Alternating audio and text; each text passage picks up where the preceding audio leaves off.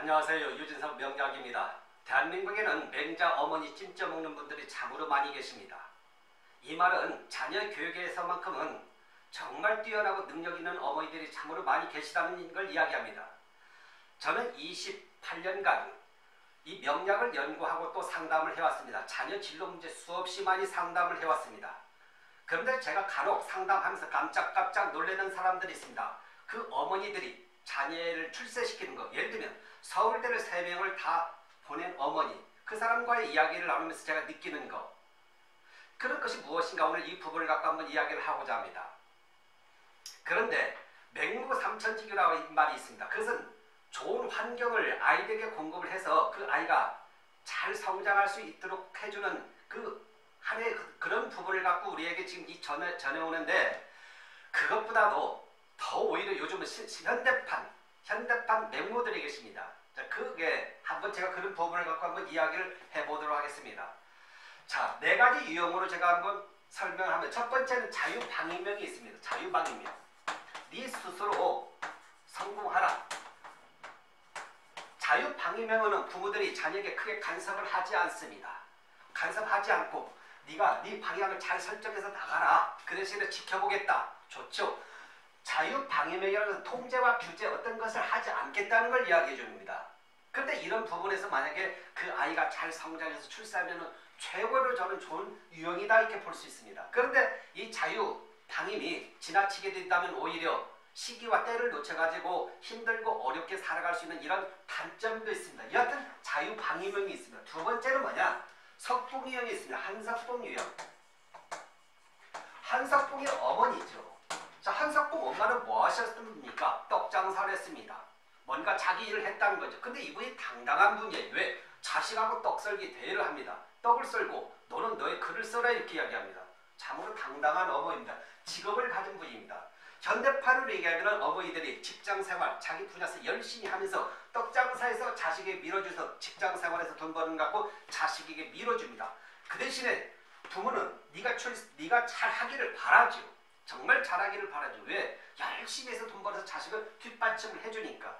이렇게 해서 양쪽이 자식도 그 어머니의 생각을 어머니의 고등을 어머니의 희생을 잘 알고 출, 잘 자기 보자서 출세하면 좋은데 또 그것 또한 뭐냐 단점이 그렇게 했는데도 자식은 또 어긋나는 경우가 있습니다. 자 그것은 저는 어떤 면에서 이야기하면 진로 방향에서 자기가 맞지 않기 때문에 그렇다 이렇게 설명할 수가 있습니다. 여하튼 석봉이 유형은 석봉이 어머니 유형은 직장을 가지고 어떤 장사를 하는 어머니가 자식을 또 자식도 뭐냐 자기 분야에서 출세하기를 바라고 이렇게 우리 현대판에서 이런 유형들이 참으로 많이 있습니다. 제가 저도 이 유형에 속하는 사람입니다. 그러니까 저는 제 분야 열심히 하고 너도 네 분야에서 열심히 하라 이렇게 하는 한석봉 유형의 어머니 유형이 제가 여기 해당해 줄 수 있겠죠. 세 번째는 누구냐? 맹자입니다. 맹모. 맹자 어머니요. 맹모형이죠. 어떤 맹모는 그 인류 역사 최초로 학군 옮겨 다닌 분입니다. 그러니까 좋은 곳을 교육하고 공부할 수 있는 좋은 환경으로 옮겨 다닌 분이죠.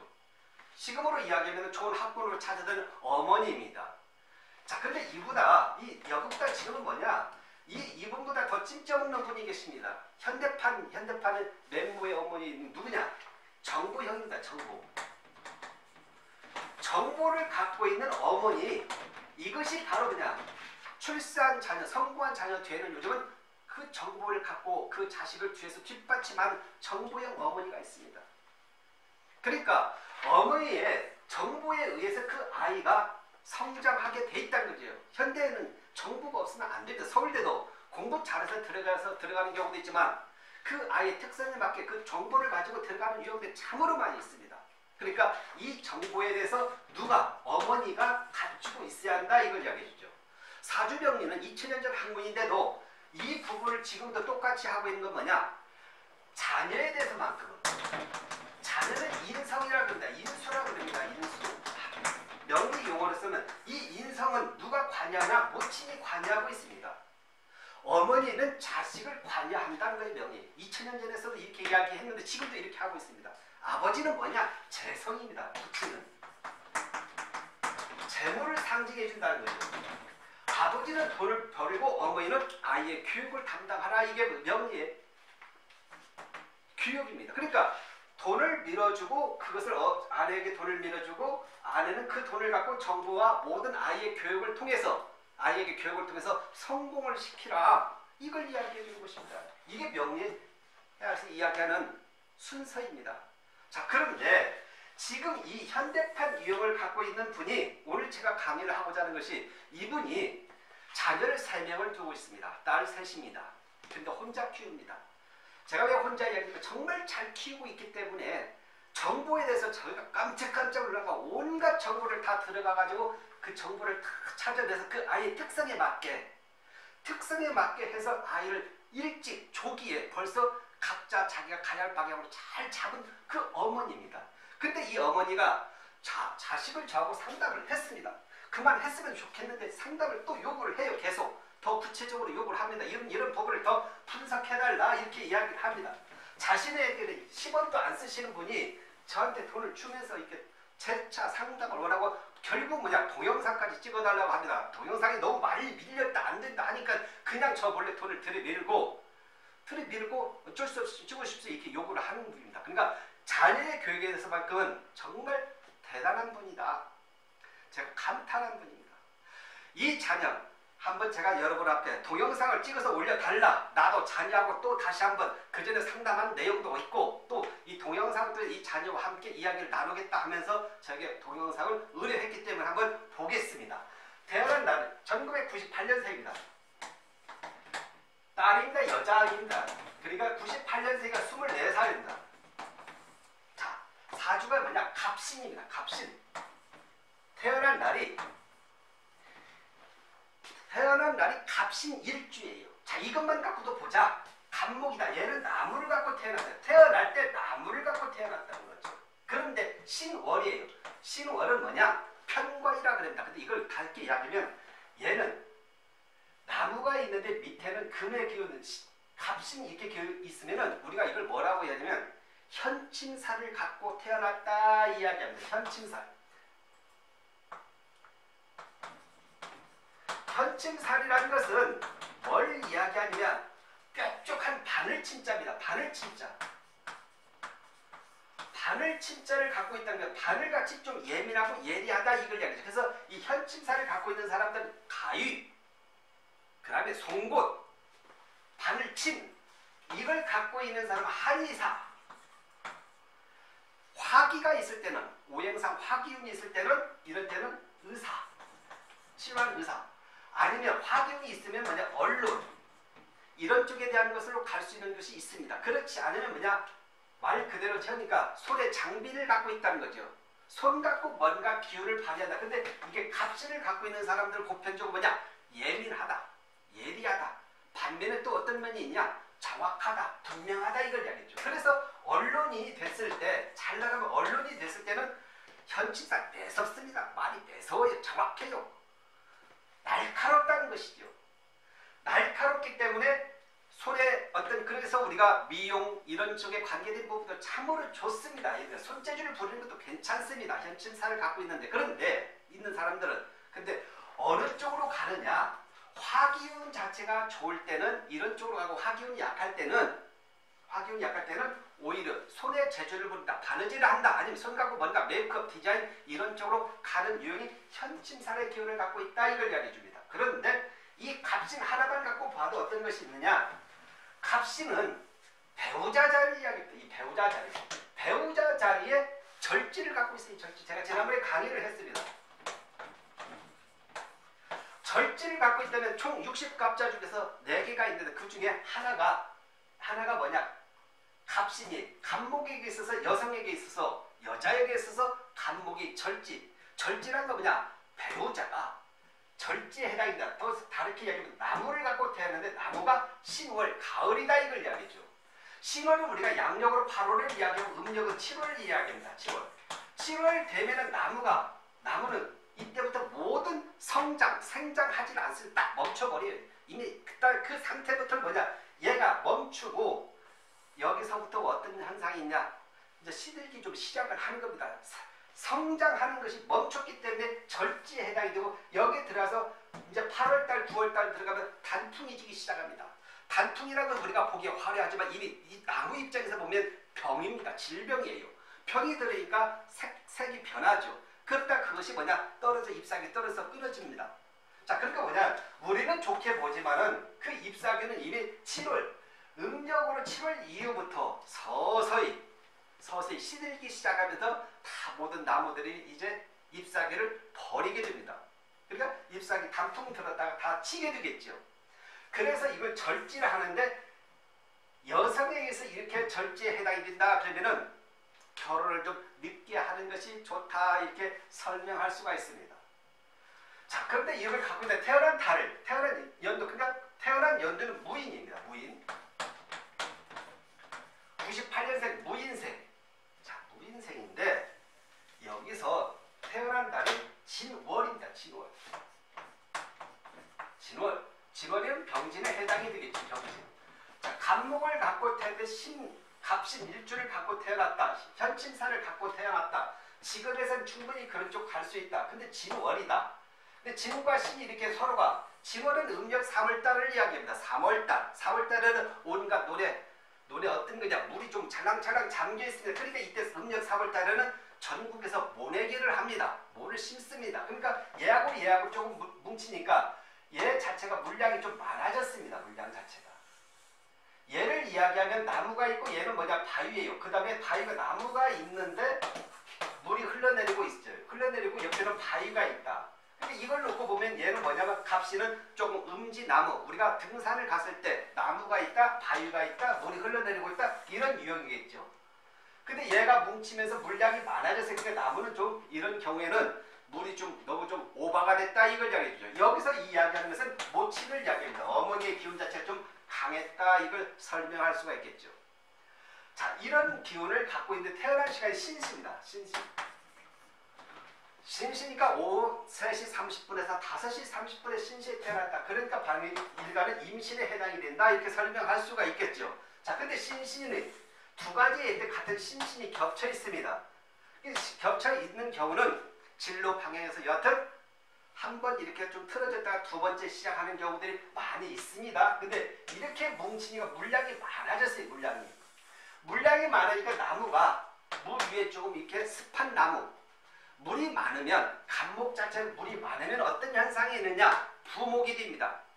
나무가 좀 썩을 수가 있다는 거예요. 물이 많으면 그래서 이런 경우는 오히려 어머니 기운 자체가 좀 이럴 때 좀 약한 게 좋다. 그게 전부만 주고 빠지는 게 좋다. 판단은 네가 하라. 나는 전부만 줄 테니까 모든 결정은 네가 스스로 하라. 이렇게 이야기하는 것이 좋습니다. 그리고 판단과 결정을 오히려 이런 경우에는 지나치면은 안 된다. 오히려 역효과다. 그러니까 어머니가 오히려 이럴 때는 정부만 주고 뒤에서 빠지는 것이 훨씬 좋다. 왜? 과유불급이 되니까요.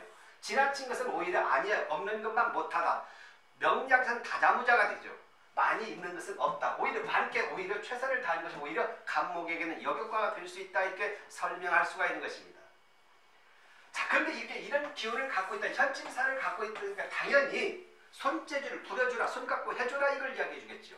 근데 이 사주가 이 태생 자체가 뷰티학과를 다니고 자, 이 과는 잘 갔어요. 어쨌든 정부 어떻게 해도 잘 갔습니다. 그럼 이 분야로 분명히 이 사주는 방향으로서 나갈 수 있는 힘이 있다 이걸 설명해 준 거죠. 그럼 뭐냐? 잘 갔다. 그러면 이 사주가 어느 때 그러면 그런 방향에서 좀 출세하고 잘 갈 수 있는가 아니면 이 지속성이 있는가를 볼 수 있겠죠. 손재주를 물고 미용에 관계된 부분 메이크업에 관계된 부분, 디자인에 관계된 부분, 광고에 관계된 광고 이런 부분에 대해서는 다 어떤 부분을 갖고 있냐? 다 괜찮다 이걸 이야기죠. 손의 기운 자체를 갖고 있다. 여기도 현침살이 여기도 현침살이라는 거죠. 현침살은 열, 여섯 개가 있습니다. 현침살이라는 것은 천간 열개 지지 열두 개 중에서 여섯 개 해당이 됩니다. 자 어떤 것이냐? 갑신 갑신 그 다음에 신묘 오미 자, 총 6개가 현침사에 해당된다. 갑신, 뾰족하죠. 침이죠. 신, 신. 그 다음에 신묘, 신묘도 이게 뾰족하죠. 묘도 뾰족합니다. 오도 뾰족해요. 그래서 갑신을, 갑, 갑, 사주에서 갑목과 신이 있는 사람들, 그 다음에 그 다음에 또 이 신금이 있고 묘금이 있는 사람들 이런 부분들은 우리가 이 여섯 개 정도는 이것을 우리가 현침 사례인데 이런 부분을 갖고 있는 사람들이 어떻게 구성이 되어 있냐를 놓고 이게 잘 구성이 되면 좀 전에 얘기했지만 그런 어떤 그 한의사 치료 쪽으로도 나갈 수 있고 또 그것이 기술성으로 나오게 된다면 기술적으로 나가게 되면 조금 전에 저 문화 예술 쪽으로 나가는 경우가 많이 있습니다. 근데 이 사주는 평화가 떠 있어요. 평화가 인속에 잡고 있어요. 그러면 얘는 식신이다. 그러니까 뭐냐 이런 사주는 기술성을 발휘하겠구나. 어느 쪽으로 평화.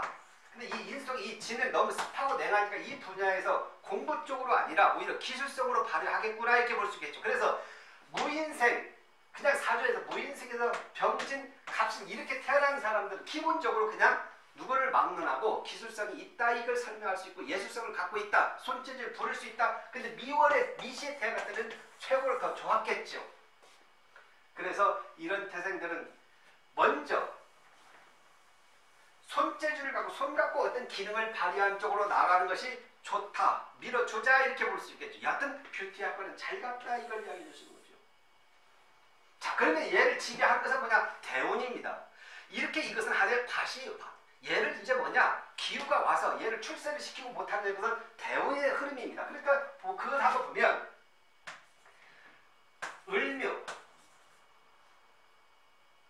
갑임, 개축, 임자, 신해 이렇게 봅니다.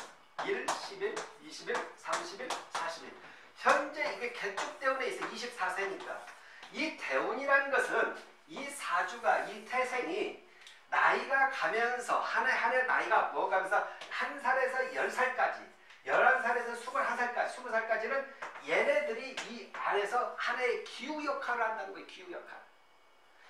얘를 제가 늘 밭으로 봅니다. 사주를 밭이다. 밭으로 생각하라. 밭. 밭에 좋은 기후가 주어지고 날씨가 주어지느냐? 그럼 잘 자라겠죠. 또 기본적으로 좋은 밭을 갖고 태어났으면 뭐냐? 살짝만 어떤 그 자연의 햇빛 영향을 주면은 모든 농작물들이 잘 자랄 수 있겠죠. 근데 얘를 지배하는 것은 얘를 지배하는 것은 얘네들이라는 거예요. 얘네들이 점령군이고 얘네들이 이 사주를 전체를 좌지우지하는 거예요. 그러니까 21세에서 31세를 보니까 개축이 들어 얘는 물을 이야기해 비를 이야기합니다. 비.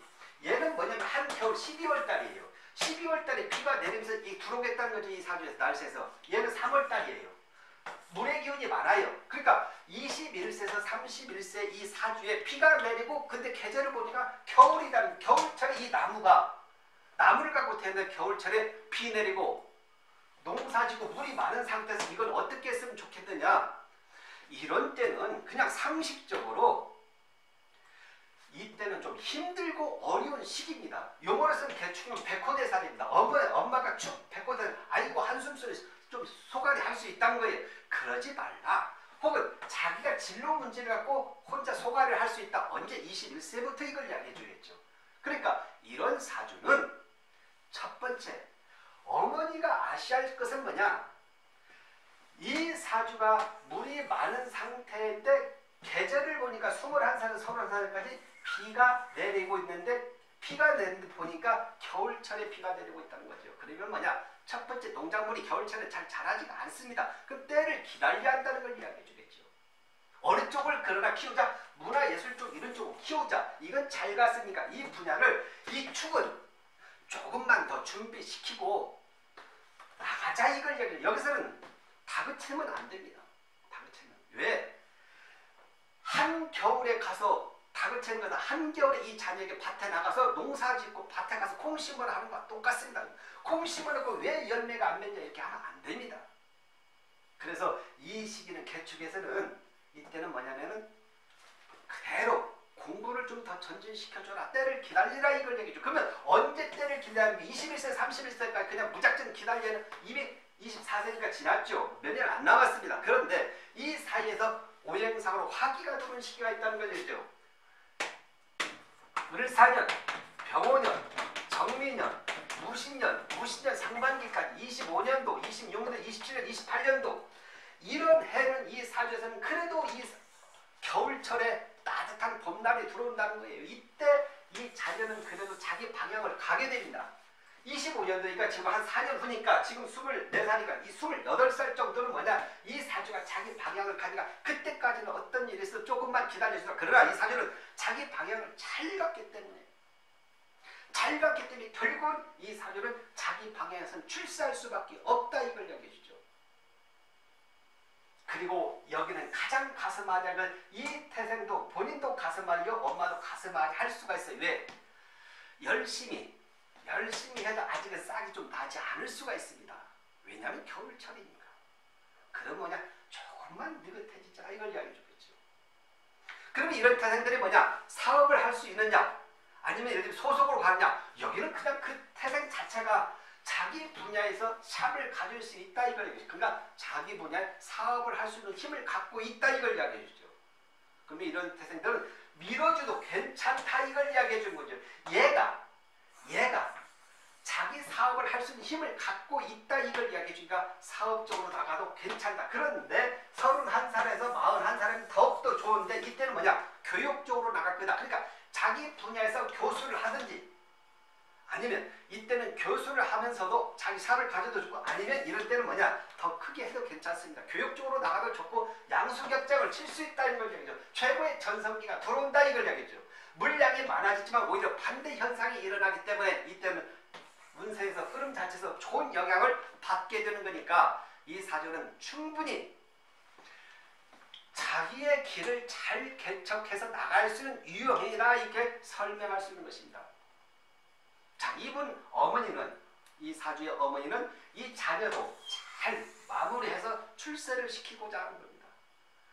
그런데 어쨌든 많은 정보를 통해 그래도 잘 지금 현재 잘 키우고 있는데 어머니 입장에서 당장 이 아이를 최고로 빨리 키우고 싶곤 하지만 그러나 이 사주는 아직은 좀 때가 있지 않았다. 그러니까 이 시기를 좀 기다려주라. 이 자녀를 위해서 기다려주는 것이 좋다 이렇게 설명할 수 있는 것입니다. 그러나 분명한 것은 저는 이 사주는 출세하는 데는 어려움이 없는 사주다. 자기 기술에 대해서는 괜찮다. 결혼 문제는 조금 약할 수가 있겠지만 자기 방향에서 삶에서 자기 인생 자기 길을 개척하고 자기 분야에서만큼은 성공하는데 하자가 없는 사주다. 특히 이 시기에서 다 괜찮게 흘러가고 있다 이걸 이야기해 주겠죠. 좁은 운이나 약 사주를 정확히 보지 않은 사람 입장에서 수기운이 많이 들어가 이때 힘들 수 있지 않느냐 이렇게 설명할 수 있겠지만 다른 분야를 가면 힘들지만 이 분야에서는 오너다 이렇게 설명할 수가 있습니다. 그래서 자기 직업과 자기 진로 방향에서만큼은 충분히 전문가 소리를 들을 수 있는 사주다 이렇게 설명할 수 있는 것입니다. 그래서 저는 이분 어머니가 저에게 의뢰를 했지만 이 사주를 다시 이야기합니다. 이 어머니가 명리 쪽에 대해서 좀 그래도 아십니다. 자 여기에서 물이 많이 들어왔어요. 물이 많이 들으니까 나무가 나무가 뭐냐 지금 붕어 물이 많으면 나무는 썩게 돼 있어요. 자 그런데 이게 겨울철이에요. 그러면 너무 지나치게 이때는 뭐냐? 지나치게만 안다. 오히려 소장의 이야기는 조금 방임형으로 자유 방임형으로 좀 나가주는 것도 좋겠다 이렇게 설명할 수가 있습니다. 그러니까 이 시기만 조금만 현재 시기만 현재만 조금만 참고해 보시라. 그리고 그 가운데 아까 이 사이에 좋지만 이민년 내는 이민년 자체에서 이 진로 방향에 대해서 이미 들어오면서 진로 방향 자기 진로 방향에서 변화가 일어납니다. 그러나 인 자체도 아직은 큰 힘 자체가 되지는 못합니다. 그러니까 지금은 가고자 했던 방향에서 잘 그대로 밀어주고 밀어주고 여기서 정보만 주고 이 자녀는 머릿속에서 아 이 자녀는 그래도 사업할 수 있는 자녀구나 이 자녀는 좀 사업적으로 손을 대줘도 괜찮겠구나 이것을 참고하시고 31세에서 41세, 41세에서 51세 이때는 이 자녀가 누군가를 키워주고 가르쳐주고 교수도 할 수 있는 힘도 가지고 있다 이걸 이야기해 주니까 그런 부분을 오히려 이때는 치고 나가도 괜찮다. 양수겹장 치도 좋은 사주다. 자기 샵을 갖고 가고도 하고 그 자기 샵을 갖고 있으면서 강의를 하고 가르칠 수 있는 그런 흐름을 타게 될 수 있는 사주다 이렇게 설명할 수 있는 것입니다. 오늘은 이 부분을 한번 제가 한번 잠깐 설명했습니다. 자녀에 대해서 저한테 질문했는데 어, 여하튼 여러분도 한번 이렇게 참고해 보시기 바랍니다. 상담한 내용을 한번 여러분도 한번 참고해 보시기 바랍니다. 감사합니다.